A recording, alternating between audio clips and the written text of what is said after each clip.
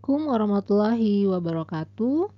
Bertemu lagi bersama saya, Apoteker Eldiza Pujirahmi, Master of Science, dosen di Prodi Farmasi Program Sarjana Fakultas Kedokteran Open Veteran Jakarta. Kali ini kita akan membahas mengenai suamedikasi nyeri, yang mana topik ini merupakan salah satu pembekalan bagi mahasiswa Prodi Farmasi dalam program MBKM Praktek Magang Apotik di tahun 2023. Nah, apakah Anda pernah mengalami hal seperti ini? Sakit gigi atau uh, sakit kepala atau sakit pinggang atau punggung atau mungkin pernah merasakan sakit saat menstruasi. Nah, semua ini merupakan sensasi nyeri yang sering dirasakan sehari-hari. Oleh karena itu, pengobatan sendiri ataupun medikasi untuk nyeri itu menjadi umum di kalangan masyarakat. Oleh karena itu, kita perlu tahu bagaimana melakukan praktek medikasi di apotek karena nanti di apotek kitalah yang bertanggung jawab atau nanti apoteker uh, yang bertanggung jawab dalam pelaksanaan uh, ataupun praktek medikasi. Adapun tujuan pembelajaran kita hari ini adalah mahasiswa mampu memahami dan menjelaskan medikasi nyeri yang meliputi definisi, gejala dan penyebab nyeri, patient assessment nyeri, kriteria eksklusi, obat yang dapat digunakan dalam medikasi nyeri, KIE, dan contoh kasus. Yang pertama kita lihat dulu dari definisinya. Nyeri ini apa sih sebenarnya? Nah, nyeri ini adalah perasaan tidak menyenangkan yang disampaikan ke otak terkait dengan kerusakan jaringan baik potensial maupun aktual. Jadi, nyeri ini adalah perasaan. Ya. Nah, kalau kita lihat definisi berikutnya adalah nyeri merupakan suatu gejala yang menunjukkan adanya gangguan-gangguan di tubuh seperti peradangan, infeksi, dan kejang otot. Nah, karena di sini nyeri ini adalah perasaan ataupun sensasi, maka sifatnya itu lebih subjektif. Artinya, mungkin setiap orang itu rasa nyeri yang dirasakannya itu bisa berbeda-beda atau ambang nyeri yang dirasakannya itu berbeda-beda karena sifatnya subjektif. Contoh dari nyeri ini adalah nyeri karena sakit kepala, nyeri head, nyeri otot, nyeri karena sakit gigi, dan lain-lain. Dan tingkatan nyeri ini juga beraneka ragam, mulai dari nyeri ringan hingga nyeri yang kuat atau nyeri yang cukup parah. Sehingga pengobatannya juga tergantung pada seberapa uh, keparah uh, nyeri yang dirasakan oleh pasien. Nah, obat nyeri adalah obat yang mengurangi nyeri tanpa menghilangkan kesadaran. Contohnya itu adalah atau kita sebut juga dengan analgesik. Kalau yang menghilangkan kesadaran itu adalah anestesi. Jadi analgesik ini adalah mengurangi nyeri, mengurangi nyeri tanpa menghilangkan kesadaran. Artinya pasiennya masih sadar. Nah, nyeri ini bisa berupa nyeri tajam, nyeri tumpul atau rasa terbakar bisa bervariasi tergantung intensitas dan lokasinya, kemudian juga bersifat subjektif tadi yang kita jelaskan.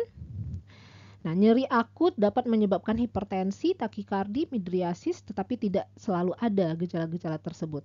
Kemudian ada nyeri neuropati yang biasanya bersifat kronik dan sukar untuk diobati dengan analgesik biasa. Nah, untuk penyebab, penyebab nyeri ini uh, adalah karena adanya rangsangan pada ujung saraf karena kerusakan jaringan tubuh yang mungkin disebabkan oleh trauma, misalnya karena benda tajam ataupun benda tumpul atau bahan kimia dan lain-lainnya. Atau bisa juga disebabkan karena adanya proses infeksi atau peradangan. Nah, adanya trauma, infeksi dan peradangan ini menjadi rangsangan. Rangsangan memberikan rangsangan pada ujung saraf kita sehingga nanti ujung saraf kita akan mengirimkan signal ke uh, ke uh, sistem saraf pusat dan mengartikan rangsangan tersebut sebagai nyeri. Nah, pada pelaksanaan swamedikasi tidak semua pasien dengan keluhan nyeri dapat kita berikan praktek swamedikasi. Maka perlu dinilai pasien mana yang bisa diswamedikasi dan mana yang tidak. Jadi yang pertama eh, langkah awal yang kita lakukan adalah melakukan penilaian terhadap kondisi pasien ataupun patient assessment. Nah, bagaimana penilaian eh, pasien kondisi pasien ini? Umumnya dalam melaksanakan patient assessment ini hampir sama untuk eh, semua jenis keluhan pasien atau semua swamedikasi untuk penyakitnya. Jadi, yang pertama kita harus mendengarkan keluhan pasien. Pasien mengatakan apa, gejala yang uh, gejala yang dirasakannya itu apa. Kemudian kita gali lagi informasi lebih. Misalkan tempat timbulnya gejala penyakit di mana, rasa gejala penyakitnya itu seperti apa, kapan mulai timbulnya, apa yang menjadi pencetusnya, sudah berapa lama gejala dirasakan, apakah ada atau tidak gejala penyerta, sehingga uh, sampai pengobatan yang sebelumnya sudah dilakukan apa aja. Nah, informasi-informasi yang digali dari uh, pasien ini menjadi dasar kita untuk uh, mengidentifikasi dan memecahkan masalah yang berkaitan dengan obat ataupun pengobatan bagi pasien. Nah, secara umum untuk pasien assessment ini ada beberapa uh, metode ataupun cara yang bisa dilakukan.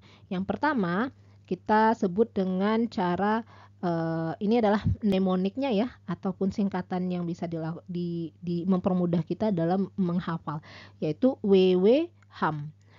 WWHAM ini apa aja? Who is it for? Artinya ini untuk siapa? Pasiennya bagaimana? Apakah dewasa, apakah anak-anak, apakah lansia? Kemudian what are the symptoms? Simptomnya apa aja? Gejala-gejala yang dirasakan itu apa saja? Kemudian how long have the symptom been present? Berapa lama? Sudah berapa lama gejala ini dirasakan? Kemudian action taken apa tindakan yang sudah diambil, kemudian atau yang sudah dilakukan, kemudian medication being taken atau pengobatan sebelumnya yang sudah dilakukan apa aja. Nah, ini menjadi uh, panduan kita dalam melakukan patient assessment. Atau ada cara yang kedua yaitu uh, disingkat dengan S method. S method itu age appearance. Umurnya berapa? Jadi ini terkait dengan karakteristik dari pasien kita, umurnya ataupun uh, uh, apakah dia lansia, anak-anak, apakah ada penyakit penyerta dan sebagainya. Self or someone else untuk dirinya sendiri untuk atau untuk orang lain, pengobatan yang telah dilakukan ataupun uh, pengobatan lainnya, ekstra medicine mungkin suplemen, ya, vitamin gitu. Time persisting uh, gejalanya itu sudah berapa lama kemudian ada riwayat-riwayatnya, riwayat penyakit terdahulu mungkin, riwayat pengobatan terdahulu, kemudian uh, simptom lain ataupun simptom-simptom yang dianggap uh, berbahaya. Nah, ini juga menjadi dasar kita dalam melakukan patient assessment. Nah, misalkan kalau misal uh, pasiennya ada uh, pasien nyeri, maka kita tanyakan nyerinya di mana, nyerinya seberapa parah, ya apakah nyerinya masih tertahan atau tidak. Nah, itu kita harus menilai seberapa tingkat keparahan nyeri yang dirasakan. Jika nyerinya uh, masih ringan, mungkin bisa dilakukan medikasi. Tapi kalau nyeri yang sangat berat, maka itu harus disampaikan ke uh, atau direkomendasikan ke dokter. Nah, untuk pasien assessment ini, maka kita perlu tahu apa saja kriteria eksklusinya. Eksklusi itu adalah kriteria yang uh, menyatakan bahwa pasien ini tidak layak untuk diswamedikasi dan kita perlu merekomendasikannya kepada uh, tenaga kesehatan yang lain yaitu dokter. Apa aja kriteria eksklusi untuk nyeri? Nah, ini di kotak ini uh, cenderung uh, fokus pada nyeri kepala atau sakit kepala, tapi bisa digunakan untuk yang lainnya juga, nyeri yang lainnya. Nah, kriteria eksklusi yang pertama adalah apakah dia merupakan nyeri yang parah, nyeri yang sangat tinggi. Kalau dinilai dari uh, penilaian nyeri at fast itu mungkin fast 8 ya, itu maka itu sudah uh, severe, parah. Apakah nyeri itu sudah dirasakan uh, 10 hari dengan ataupun tanpa pengobatan yang telah dilakukan. Apakah sudah sudah 10 hari nyerinya? Kemudian apakah pasien tersebut uh, dalam keadaan hamil di trimester uh, ketiga? Kemudian apakah pasien berusia di bawah 8 tahun?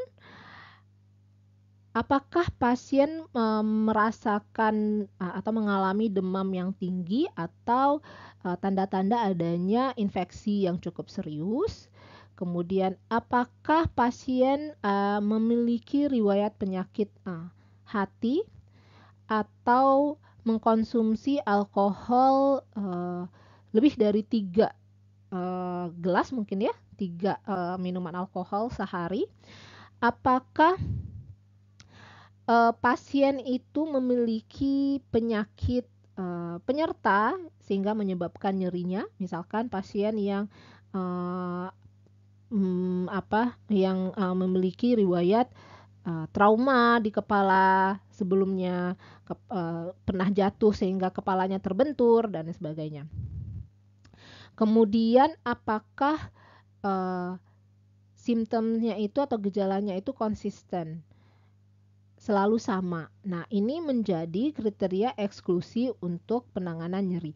Jika pasiennya mengalami hal yang ada di kotak ini, maka dia tidak dikatakan tidak bisa dilakukan swamedikasi sehingga kita perlu merekomendasikan kepada uh, dokter. Nah, setelah kita melakukan patient assessment dengan melihat kriteria eksklusi, kemudian kita tetapkan bahwa pasien ini ternyata layak untuk diswamedikasi mm, nyeri, maka kita bisa memilihkan atau merekomendasikan pengobatan untuk uh, keluhan pasien. Nah, untuk nyeri ada beberapa obat yang bisa digunakan. Nah, di sini kita akan membahas uh, lebih pada obat yang bebas dan bebas terbatas. Ingat bahwa untuk swamedikasi juga bisa dilakukan dengan obat uh, wajib apotek. Ya, jadi tidak hanya obat bebas atau bebas terbatas, tapi juga bisa dengan obat wajib apotek. Nah, contoh obat yang pertama yang dapat digunakan itu adalah ibuprofen. Ibuprofen ini kegunaannya adalah untuk uh, menekan rasa nyeri dan radang. Misalkan pada dismenorrhea primer, nyeri head, uh, sakit gigi, sakit kepala, pasca operasi, nyeri tulang, nyeri sendi, pegelinu dan terkilir. Nah, hal yang harus diperhatikan dalam penggunaan ibuprofen adalah terkait dengan dosis. Gunakan obat dengan dosis yang tepat. Kemudian hati-hati untuk penderita gangguan fungsi hati, ginjal, gagal jantung, asma, bronkospasmus, Kon, uh, kalau pasiennya ada yang seperti ini, maka konsultasikan ke dokter ataupun apoteker. Hati-hati untuk penderita yang menggunakan obat hipoglisemi, metotrexat, urikosurik, kumarin, antikoagulan, kortikosteroid, penisilin, dan vitamin C. Dan mintalah petunjuk dari dokter. Dan jangan minum obat ini bersama dengan alkohol karena dapat meningkatkan risiko perdarahan di saluran cerna. Nah, Ibuprofen ini uh, memiliki beberapa kontraindikasi. Jadi, ibuprofen tidak boleh digunakan pada penderita tukak lambung dan duodenum ulcus pepticum aktif karena bisa meningkatkan uh, uh, kemungkinan terjadinya tukak lambung atau keparahan tukak lambungnya. Penderita yang alergi terhadap asetosal dan ibuprofen, maka dia tidak uh, di, boleh diberikan ibuprofen. Penderita polip hidung, pen, yaitu pertumbuhan jaringan epitel berbentuk tonjolan di hidung dan uh, pasien yang hamil di uh, trimester terakhir. Nah, efek sampingnya adalah gangguan saluran cerna seperti mual, muntah, diare, konstipasi, nyeri lambung sampai perdarahan. Ruam kulit, bronkospasmus dan uh, trombositopenia, penurunan ketajaman penglihatan yang mana ini akan sembuh bila obat dihentikan. Gangguan fungsi hati, kemudian reaksi alergi dengan atau tanpa shock anafilaksi, dan anemia kekurangan zat besi. Ini adalah efek samping yang mungkin muncul pada penggunaan ibuprofen. Nah, ibuprofen sendiri bentuk sediaannya ada dua, ada yang berupa tablet 200 mg dan ada yang uh, berupa tablet tablet 400 mg. Nah, aturan pemakaiannya In, uh, dewasa itu satu tablet 200 mg 2 sampai 4 kali sehari diminum setelah makan. Kemudian untuk anak-anak 1 hingga 2 tahun seperempat tablet uh, 200 mg 3 kali 3 sampai 4 kali sehari. Usia 3 sampai 7 tahun setengah tablet 500 mg 3 sampai 4 kali sehari. Uh, usia 8 sampai 12 tahun satu tablet 500 mg 3 sampai 4 kali sehari dan tidak boleh diberikan untuk anak yang beratnya kurang dari 7 kg. Nah, ingat untuk dosis dosis untuk anak-anak kita juga bisa menghitungnya dari rumus dengan kilogram. Ini adalah rumus yang umum, rumus yang umum digunakan, tetapi kita bisa lagi menyesuaikan dengan uh, berat badan pasien. Nah, ini adalah contoh dari uh, ibuprofen, sediaan ibuprofen. Nah, ibuprofen ini uh, jika dia yang 200 mg itu biru, berarti dia bebas terbatas. Tapi yang 400 mg itu keras, obat keras. K.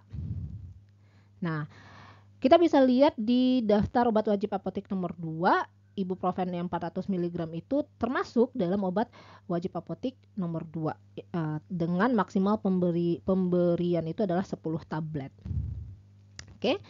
Jadi masih bisa diberikan maksimal 10 tablet pada satu kali pengambilan. Oke. Nah, berikutnya asetosal. Asetosal ini uh, termasuk termasuk NSAID ya Nah, dia mengurangi rasa sakit, menurunkan demam, dan anti radang. Hal yang harus diperhatikan dari penggunaan asetosal ini adalah aturan pemakaiannya harus tepat. Diminum setelah makan atau bersama dengan makanan untuk mencegah nyeri dan perdarahan lambung. Karena memang asetosal, NSAID pada umumnya itu memiliki efek samping dapat menyebabkan uh, perdarahan lambung atau tukak lambung. Konsultasikan ke dokter atau apoteker bagi penderita fungsi ginjal atau hati, ibu hamil, ibu menyusui, dan yang dehidrasi. Jangan diminum bersama dengan minuman beralkohol karena dapat meningkatkan risiko pendarahan lambung. Konsultasi ke dokter atau apoteker bagi uh, penderita.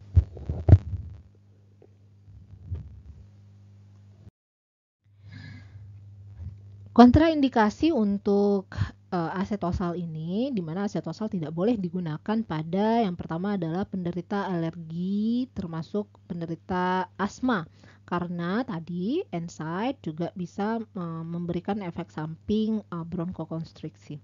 Nah, pada penderita tukak lambung atau uh, MAH juga uh, dikontraindikasikan atau pasien yang sering melang, e, mengalami perdarahan di bawah kulitnya seperti pada pasien hemofilia dan e, trombositopenia. Nah, efek samping dari asetosal ini adalah nyeri lambung, mual dan muntah. Pemakaian dalam waktu lama dapat menimbulkan tukak dan perdarahan lambung.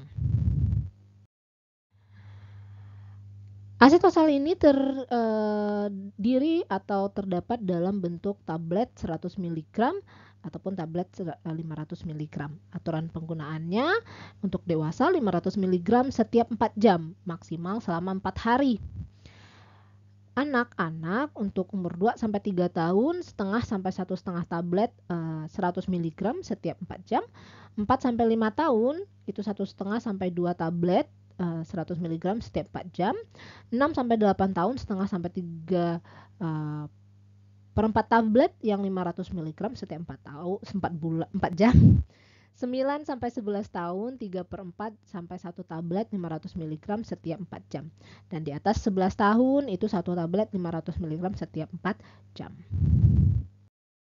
Nah ini adalah contoh uh, aspirin ataupun asetosal uh, yang berlogo hijau. Dan ini adalah contoh tablet untuk anak-anak.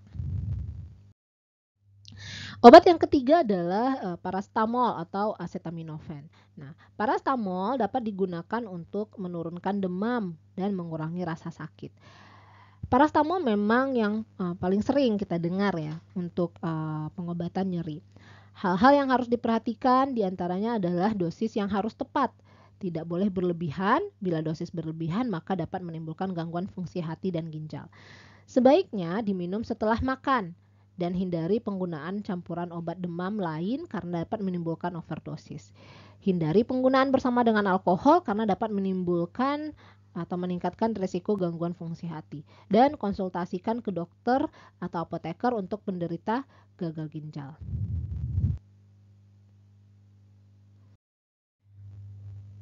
Parastamol itu akan dikontraindikasikan untuk uh, pasien-pasien uh, dengan gangguan fungsi hati. Kemudian pasien yang alergi terhadap parastamol atau acetaminophen dan pecandu alkohol.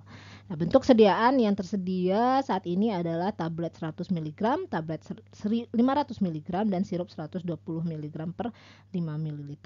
Nah, aturan pemakaiannya adalah dengan dewasa satu tablet 3 eh, sampai 4 kali sehari, kemudian anak-anak 0,1 tahun itu setengah sampai 1 sendok teh sirup. Uh, 1 sampai 5 tahun 1 sampai 1 setengah teh sirup 3 sampai 4 kali sehari dan 6 sampai 12 tahun itu setengah sampai 1 tablet 250 sampai 500 mg 3 sampai 4 kali sehari setiap 4 sampai 6 jam. Dan ini adalah contoh obat-obat yang dapat digunakan uh, ataupun uh, bentuk sediaan dari parastamol. Ada yang uh, ada yang berlogo hijau bebas dan ini ada yang berlogo biru. Kenapa berlogo biru? Karena dia tidak hanya mengandung parastamol tapi ada pseudoephedrine dan dextromethorphan sehingga logonya menjadi logo uh, biru.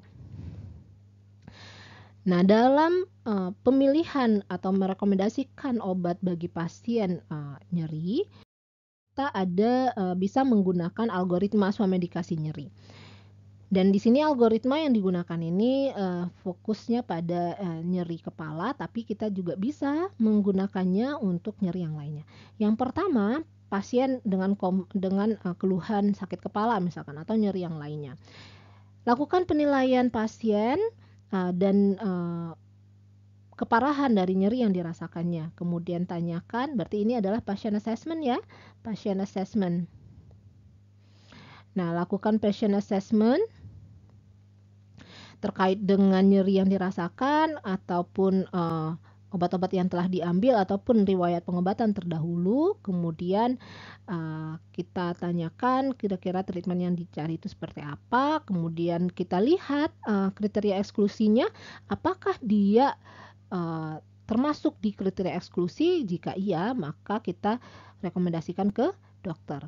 Jika tidak, maka kita berikan analgesik analgesik uh, untuk sakit kepala lebih dari tiga hari. Uh, dalam satu minggu ya kita tanya apakah dia menggunakan analgesik uh, untuk sakit kepala lebih dari tiga hari dalam satu minggu. Jika iya maka uh, ini juga menjadi kriteria eksklusi untuk direkomendasikan ke dokter. Jika tidak, maka kita diagnosa jenis uh, nyerinya. Kalau misalkan dia nyeri kepala, apakah migrain ataupun yang lainnya. Jika uh, ternyata dia tidak migrain ataupun dia tidak jenis sakit kepala lainnya, maka kita rekomendasikan ke dokter. Artinya sakit kepala yang dia derita itu bukan karena hal seperti ini yang mana ini masih merupakan kriteria yang bisa kita uh, swamedikasikan. Berarti sakit kepala yang dirasakan mungkin ada penyebab lain yang tidak diketahui sehingga perlu kita rekomendasikan ke dokter. Jika iya, maka berikan uh, rekomendasi terapi non farmakologi dan terapi farmakologi. Jika pasiennya itu punya riwayat asma atau polip ataupun uh, gangguan lam, gangguan lambung dan sebagainya seperti ini, maka uh, apakah ada alergi terhadap aspirin dan sebagainya? Jika iya, maka kita harus menghindari pemberian uh, aspirin ataupun NSAID lainnya. Jika tidak, apakah pasien di bawah 12 tahun? Jika iya, kita harus menghindari pemberian naproxen. Kalau misalkan tidak, apakah lebih eh, ataupun kurang apakah kurang dari 15 tahun? Jika iya, maka uh, hindari pemberian uh, salisilat jika jika simptom ada karena ada virus. Jika tidak, maka kita bisa memberikan pilihan pengobatan seperti NSAID ataupun yang lainnya. Nah, Untuk sakit kepala, maka kita bisa uh, follow up. Follow up berikutnya, uh, kalau dia tingkat keparahan sakit kepalanya itu parah, kita follow up dalam waktu 10 hari. Kemudian kalau chronic headache, kalau uh, sakit kepala yang kronik, maka kita follow up 4 sampai 6 minggu. Jika dia hanya episodik, sakit kepala yang episodik, kita follow up setelah 6 sampai 12 minggu. Jika analgesik yang kita berikan itu ternyata cukup ampuh, uh, maka kita uh, berikan uh, terapi yang tepat. Kita kita berikan terapi intermittent yang tepat untuk sakit kepalanya. Tetapi jika tidak, maka kita harus uh, merekomendasikan ke dokter. Nah, algoritma ini juga bisa kita gunakan untuk uh, pasien-pasien yang lain. Yang, per, yang penting adalah kita yang pertama lakukan pasien assessment. Pasien assessment jika dia tidak uh, termasuk dalam kriteria eksklusi, maka kita bisa uh, melakukan swamedikasi. Namun selain itu, maka kita tanyakan juga apakah dia punya riwayat asma, kalau dia punya riwayat asma, maka tidak boleh diberikan yang NSAID. Maka kita berikan yang lainnya. Ataupun uh, apakah dia punya uh, polips, juga tidak boleh diberikan asma atau alergi. Maka dikontraindikasikan dengan NSAID. Jika misalkan dia ternyata hamil di uh, trimester terakhir, maka kita rekomendasikan ke dokter. Jika dia ternyata punya riwayat gangguan uh, hati, maka itu juga kita harus rekomendasikan ke dokter. Jika ternyata sakit yang dirasakannya itu sudah lebih dari 10 hari, itu juga menjadi kriteria eksklusi yang harus kita rekomendasikan ke dokter. Nah, pada pemberi, proses pemberian obat kepada pasien, maka kita bisa melakukan hmm, KIE Nah, yang pertama, hal yang bisa kita lakukan dalam KIE itu adalah menyarankan terapi non farmakologinya. Apa saja terapi non farmakologinya? Di antaranya ada relaksasi, kemudian aktivitas fisik yang ringan, asupan masak makanan yang sehat, tidur yang cukup, dan bisa menggunakan kompres yang hangat di lokasi nyeri. Kemudian kita harus menjelaskan cara penggunaan obat yang benar, termasuk dosis pemakaian, kemungkinan efek samping yang muncul, kontraindikasi, peringatan dan perhatian obat, cara penyimpanan dan waktu kadaluarsa obat, serta kapan harus menghubungi dokter. Nah, adalah contoh kasus swamedikasi. Skenario-nya adalah seorang ibu muda, Nyonya Galuh, datang ke apotek dengan keluhan sakit gigi dan pusing. Dia minta obat kepada apoteker untuk mengatasi kondisinya. Instruksinya, lakukan penggalian informasi yang benar, kemudian pilihkan sediaan obat yang sesuai. Nah, di apotek Anda, itu obat yang tersedia ada empat, Sanmol, Ponstan, Kataflam, dan Antalgin. Dari keempat pilihan obat ini, mana yang kira-kira uh, sesuai untuk direkomendasikan kepada pasien? Nah, Sanmol uh, isinya adalah parastamol, sedang uh, Ponstan ada asam mefenamat, Kata flam adalah kalium diklofenak dan antalgin adalah metampiron atau metamizol.